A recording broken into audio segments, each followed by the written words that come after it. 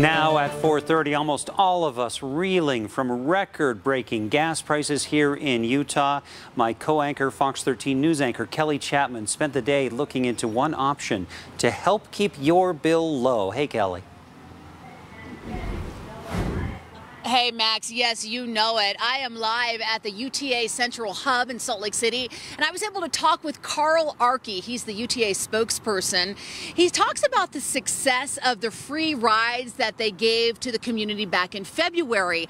And while that's no longer in play, he says UTA still sees the need for mass transit, especially with current record high gas prices. But despite those costs, here's what UTA says about keeping the fares low?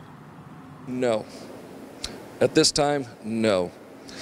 There are no plans, no discussions. We haven't had a rate hike in I don't think anybody at our at our facility even remembers when the last one was. We could go look it up, but we haven't had a rate hike in a long, long time, and that's through good times, not such good times.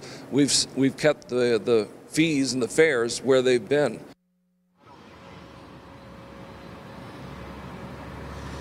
Right now, bus and TRAX fares are $2.50. FrontRunner varies in price depending on distance. So, Max, in a world where it seems like everything is rising in cost, UTA may be the only outlier still out there saying they have no intentions, no plans right now to raise fares.